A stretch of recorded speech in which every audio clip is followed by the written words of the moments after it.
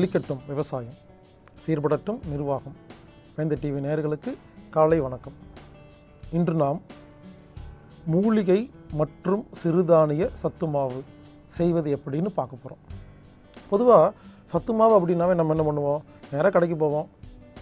ஒரு பத்து சிறுதானியங்கள்லாம் வாங்குவோம். எல்லாம் வாங்கி போட்டு அரைச்சி நம்ம குடிச்சிட்ருக்குறோம் இது ரொம்ப நல்லது தான் இது ஏற்கனவே நம்மளாம் ஃபாலோ பண்ணிட்டுருக்குறோம் இப்போ நான் சொல்கிறது வெறும் சத்து மாவு இல்லை. மூலிகை மற்றும் சிறுதானிய சத்துமாவு. அது எப்படிங்கிறத பார்க்கலாம். இதில் நம்ம மூலிகையும் சேர்த்த போகிறோம் இப்போ நான் என்ன பண்ண போகிறேன் ஒரு நாற்பத்தி ஆறு பொருள் சொல்ல போகிறேன் இந்த நாற்பத்தாறு பொருளை சில பொருள் மளிகை கடையில் கிடைக்கும். சில பொருள் வந்து நாட்டு மருந்து கடையில் கிடைக்கும். சில பொருள் நீங்கள் பக்கத்து வீட்டில் போய் இலையை பறிச்சுட்டு வரணும் இல்லை உங்கள் வீட்டில் இருக்கும்.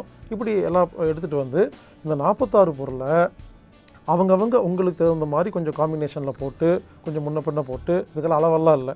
உங்களுக்கு என்ன தெரியுதோ போடுங்க. எல்லாம் போட்டு கலந்து எல்லாத்தையும் வெயிலில் காய வச்சு வறுத்து இடித்து எல்லாத்தையும் ஒன்றா சேர்த்து மிஷினில் கொண்டு போய் கொடுத்து மொத்தமாக அரைச்சி மாவு மாதிரி பண்ணிவிட்டு அதை டெய்லி காலையில் தண்ணிக்குள்ளே போட்டு லேசாக சூடு பண்ணி ஒரு கஞ்சி மாதிரி செஞ்சு உப்பு போட்டு குடிக்கலாம் இல்லைன்னா சர்க்கரை போட்டு குடிக்கலாம். நான் எப்பெல்லாம் சர்க்கரைன்னு சொல்கிறேனோ அது நல் வெள்ளை சர்க்கரை இல்லை எல்லாமே நாட்டு சர்க்கரை. இப்படி கலந்து அந்த கஞ்சியை டெய்லி குடிச்சிட்டு வந்தோம்னா அது நம்ம உடம்புக்கு பாருங்க மூலிகையும் கிடைக்கும் சத்தும் கிடைக்கும் எல்லாமே கிடைக்குங்க. இது எவ்வளோ கலக்கணும்னு நான் சொல்ல மாட்டேன். ஏன்னா எனக்கும் தெரியாது. அவங்கவங்க என்ன பண்ணணும்? ஆரம்பத்தில் முதல் முறை நீங்கள் எல்லாம் செய்கிறீங்க இல்லையா? எல்லாமே ஒரு ஐம்பது கிராம் இருபத்தஞ்சி கிராம் வாங்கிட்டு வந்து எல்லாத்தையும் போட்டு கலந்து முதல்ல செய்யணும். செய்யும்போது எழுதி வச்சுக்கணும். இது எவ்வளோ போட்டோம் அப்படின்னு. அந்த டேஸ்ட்டு பார்க்கணும். ஒருவேளை டேஸ்ட்டு கொஞ்சம் பிடிக்கலன்னா அடுத்த முறை நீங்களாக பார்த்து கொஞ்சம் கொஞ்சமாக மாற்றி நீங்கள் ஒரு ரெசிபி நீங்களே கண்டுபிடிங்க கண்டுபிடிச்சி அந்த ரெசிபியை எழுதி வச்சுக்கிட்டு எந்த டேஸ்ட் உங்களுக்கு சூப்பராக செட் ஆகுதோ அதே காம்பினேஷனில் இனிமேல் தயாரிக்க ஆரம்பிச்சிருங்க. ட்ரையல் அண்ட் எரரில் ஒவ்வொரு முறை தயாரிக்கும் பொழுது எழுதி வச்சுக்கிட்டு சாம்பிள் எடுத்து வச்சுக்கோங்க. அப்போ ஃப்யூச்சரில் நீங்கள் பார்க்குறதுக்கு ஈஸியாக இருக்கும். இந்த மாதிரி முதல்ல ஆரம்பத்தில் நம்ம வீட்டுக்காக செய்வோம். அதுக்கப்புறம் என்ன பண்ணலாம்? அதை செஞ்சு சுய தொழிலாக மற்றவங்களுக்கும் அதை வியாபாரம் பண்ணும் பொழுது மற்றவங்களும் நல்லா இருப்பாங்க நாமளும் நல்லா இருப்போம். மீண்டும் நாம் என்ன பண்ணலாம்? இந்த மூலிகை மற்றும் சத்து மாவுக்கு நம்மலாம் போயிடலாம். இப்போ நான் சொல்கிறேன் நாற்பத்தாறு பொருள் எழுதிக்கிங்க. உலர்த்தப்பட்ட ஆவாரம்பூ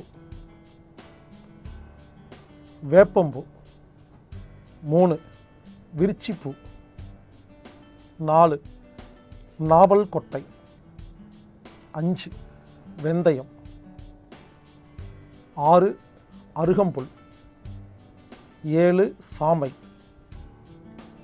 எட்டு திணை. ஒன்பது வரகு பத்து சீரகம். பதினொன்று நெல்லிக்காய். பன்னெண்டு அக்ரஹாரம். பதிமூணு நற்சீரகம். பதினாலு கஸ்தூரி மெட்டி. பதினஞ்சு குதிரைவாளி பதினாறு கைக்குத்தல் அரிசி. பதினேழு சம்பா கோதுமை. பதினெட்டு திப்பிலி. பத்தொம்போது சோயாபீன்ஸ் இருபது கருப்பு உளுந்து. இருபத்தொன்று ராக்கிமா இருபத்தி ரெண்டு கொள்ளு. இருபத்தி மூணு தாண்டிரிக்காய். இருபத்தி நாலு கடுக்காய். இருபத்தி அஞ்சு சுக்கு. இருபத்தி ஆறு நிலவேம்பு. இருபத்தி ஏழு பாதம். இதெல்லாம் நீங்கள் கேட்டிங்கன்னா நாட்டு மருந்துகளில் கொடுப்பாங்க. இருபத்தி எட்டு குறுமிளகு. இருபத்தி ஒம்பது நெருஞ்சி முள் முப்பது சதக்குப்பை முப்பத்தி ஒன்று மோடி முப்பத்தி ரெண்டு காட்டு சீரகம் முப்பத்தி மூணு ஜாதிக்காய் முப்பத்தி நாலு சாலியா முப்பத்தி அஞ்சு வல்லாரை முப்பத்தி ஆறு நீர்முள்ளி விதை முப்பத்தி ஏழு ஓமம் முப்பத்தி எட்டு வாத நாராயணன் இலை முப்பத்தி ஒம்பது சிறு குறிஞ்சான் நாற்பது வில்வம். நாற்பத்தி ஒன்று மூங்கில் அரிசி நாற்பத்தி இரண்டு மாப்பிள்ளை சம்பா நாற்பத்தி மூணு இரும்பு சோளம் நாற்பத்தி நாலு சிவப்பு சோளம் நாற்பத்தி அஞ்சு வெள்ளை சோளம் நாற்பத்தி ஆறு காடை கன்னி. பாருங்க இப்போ ஒரு நாற்பத்தாறு பொருள் சொல்லியிருக்கிறேன். இந்த பொருளை இந்த வீடியோவை திரும்ப திரும்ப பார்த்து நீங்கள் என்ன பண்ணுங்கள் இந்த பொருளை எல்லாம் பேப்பரில் எழுதிட்டு நாட்டு மருந்து கடைக்கு போங்க முதல்ல வாங்குங்க. அவங்களே சொல்லுவாங்க சில பொருள் அங்கே இல்லைங்க அது இங்கே வாங்க அங்கே வாங்கன்னு சொல்லுவாங்க. சிலதெல்லாம் மளிகை கடையில் கிடைக்கும். சிலதெல்லாம் உங்கள் வீட்லேயே இருக்கும். சிலது பக்க வீட்டு பக்கத்து வீட்டு தோட்டத்தில் இருக்கும். சிலதெல்லாம் ரோட்டில் கிடக்கும். இந்த மாதிரி பொருட்களை நாற்பத்தி ஆறு பொருட்களை வாங்கிட்டு வந்து சில பொருள் கிடைக்கலன்னா விட்டுருங்க.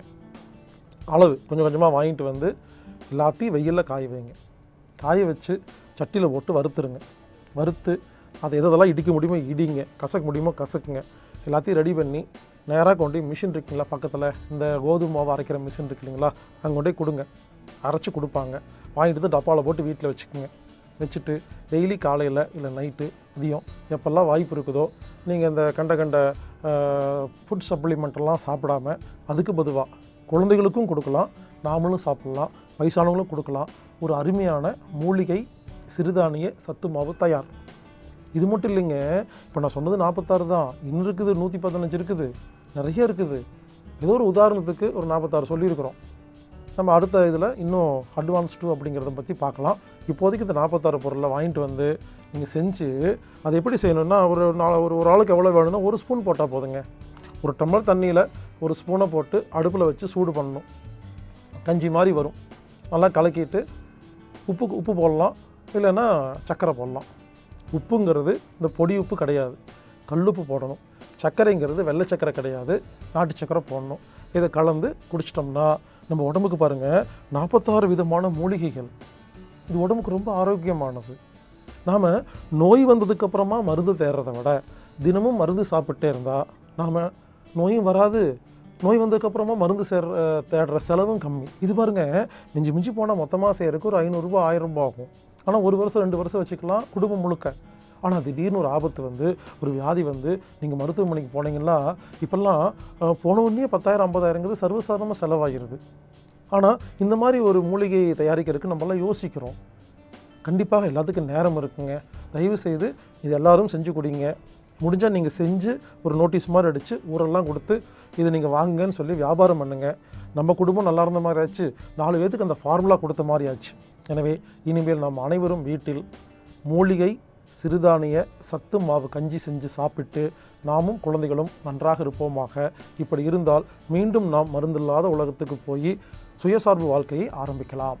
செழிக்கட்டும் விவசாயம் சீர்படட்டும் நிர்வாகம். மீண்டும் நாளை சந்திப்போம்.